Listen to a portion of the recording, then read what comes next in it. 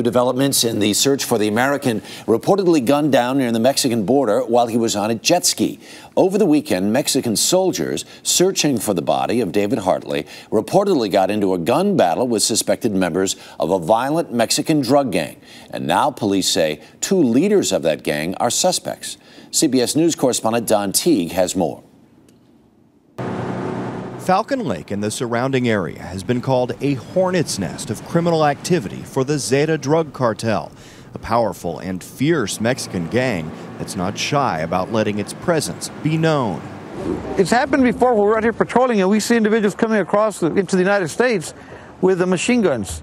Now, Mexican police have named two brothers believed to be members of that cartel suspects in David Hartley's murder.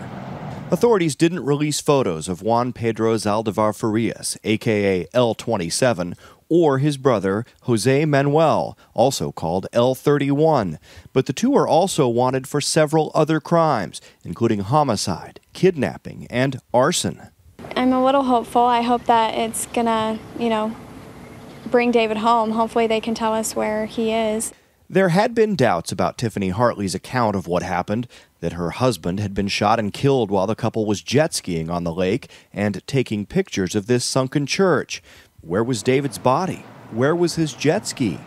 But there's other evidence supporting her story.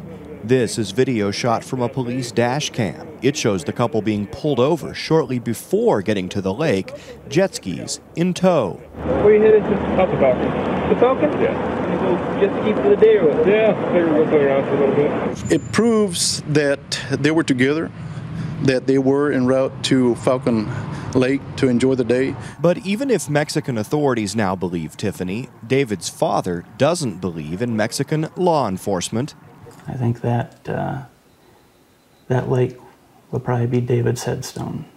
Mexican officials insist they will keep searching for David Hartley's body. Don Teague, CBS News, Dallas.